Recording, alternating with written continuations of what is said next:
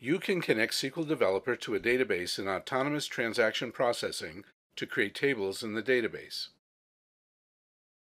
Open SQL Developer and click New Connection to define a connection to your Autonomous Transaction Processing database. Specify a name for this connection. Enter the username of a database user that you previously defined. In this example, we are connecting to a user named ATPC user.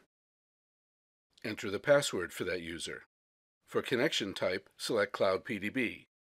For the configuration file field, click Browse and select the client credential zip file that you or your cloud administrator downloaded from the Autonomous Transaction Processing Service Console.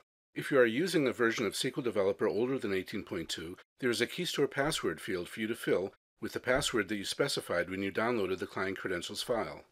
For the service field, select Low, Medium, or High. These service levels map to the low, medium, and high consumer groups. Test your connection definition and save it, then connect to your database.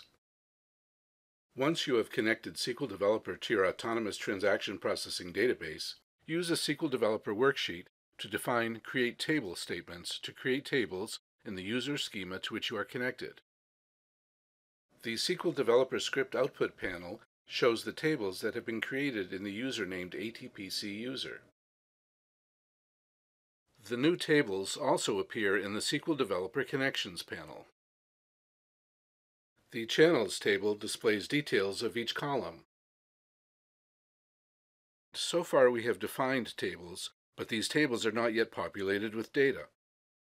The next video in this series shows how to load data into tables of your Autonomous Transaction Processing database.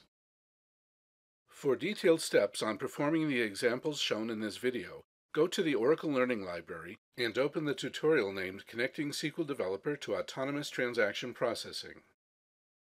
Find out more at cloud.oracle.com/atp.